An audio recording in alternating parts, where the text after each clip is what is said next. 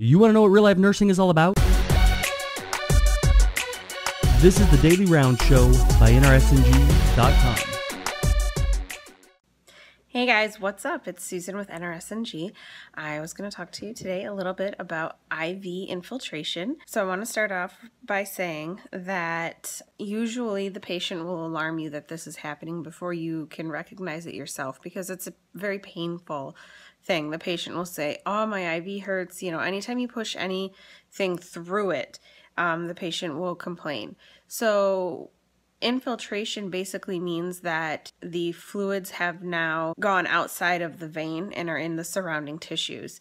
Now, the one thing that you need to be worried about is extravasation, uh, which occurs when specifically vesicant fluids are in the surrounding connective tissues for the veins. So, an example of a vesicant is dobutamine. Vancomycin's a huge one. Anything that's hyperosmolar, like um, anything greater than 10% dextrose or um, mannitol, is definitely a vesicant. Jackson is a vesicant as well. So, you definitely want to know your medications, know which ones are vesicants, and know, you know, monitor their IV site very well.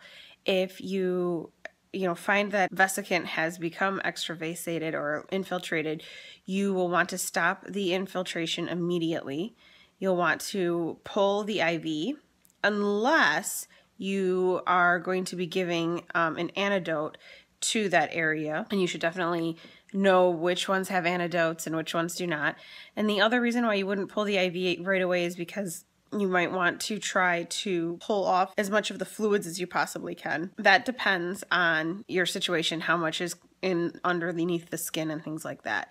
But once all of that is finished, you definitely want to pull the IV and you want to elevate it so that the fluids are encouraged to um, soak back into your body and come back towards your heart. And you will want to make sure that the IV that you are placing is not too large. So oftentimes, especially in the ER, I have found that goal is to get the largest bore IV that we can uh, in case they need a specific kind of testing.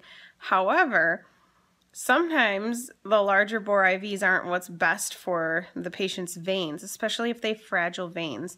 So patients like that are receiving chemo have super fragile veins.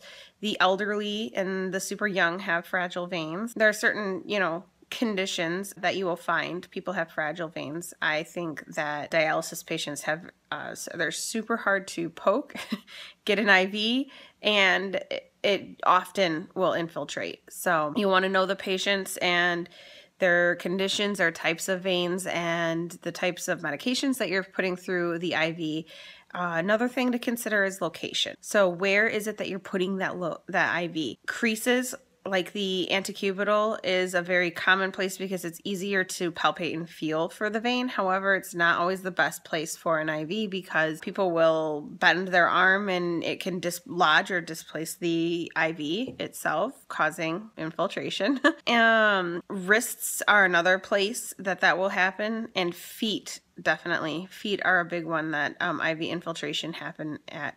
So you want to make sure that you're monitoring and um, watching, assessing your IV sites, and then also placing them in the best place that you can. So I hope that's helpful.